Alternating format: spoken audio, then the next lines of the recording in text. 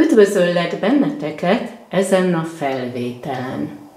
Én most éppen egy almát akartam enni, és a gyümölcsös tálból kivettem egy almát, és akkor volt ez a nagy meglepetés, hogy az almán van egy ilyen szimbólum. Én ilyet még soha nem láttam, és elgondolkoztam azon, mit akar ez a szimbólum közölni velem, vagy velünk.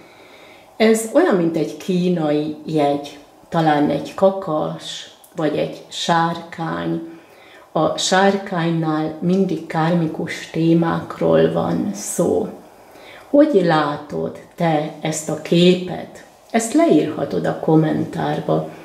Én megfordítom, így úgy néz ki, mint egy majom, aki fogva tart valamit. Ez lehet viccelődés, hiszen a majmok is viccelnek bennünket. És ha így fordítom, akkor olyan, mint egy madár, akinek a csőrében van egy kulcs, valamit tartani akar.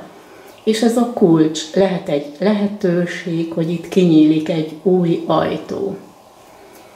És ha így látom, akkor olyan, mintha valakinek ilyen nagy óra lenne, és kinyílik, nagyon-nagyon kíváncsi, vagy figyel a kulcs lukon keresztül. Persze ez a nyitottság lehet egy új lehetőség is.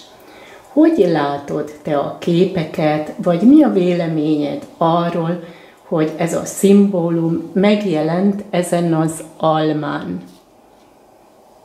Én kicsit érdekesnek tartottam, lehet, hogy te is így látod. Örülnék, ha leírná, örülnék annak, ha leírnád a véleményedet a kommentárba. Köszönöm szépen, és én kívánok egy szép napot, nagyon sok szeretettel, Dendera.